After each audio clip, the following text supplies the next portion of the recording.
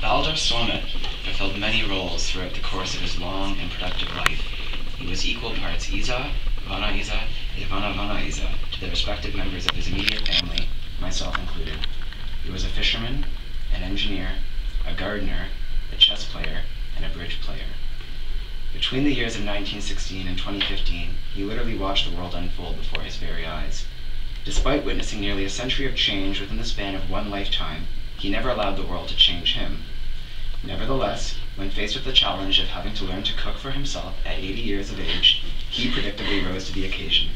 Preparing handwritten grocery lists with military precision, he and I would faithfully go grocery shopping every other week with exact change always in hand.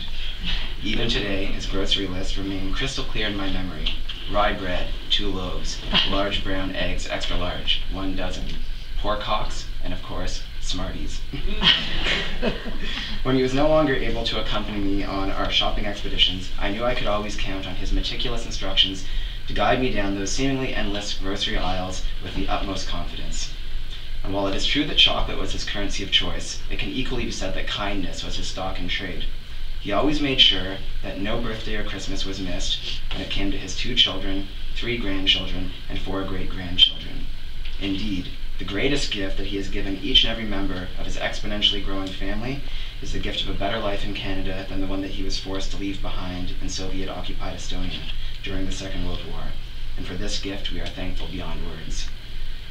The world is a smaller place today than it was one week ago.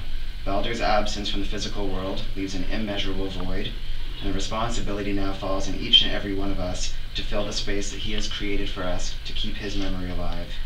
We will all remember him for what he meant to us the fisherman, the engineer, the chess player. To the son of the, of the farmer from rural Estonia, I offer these final words. Nega misvanaiza,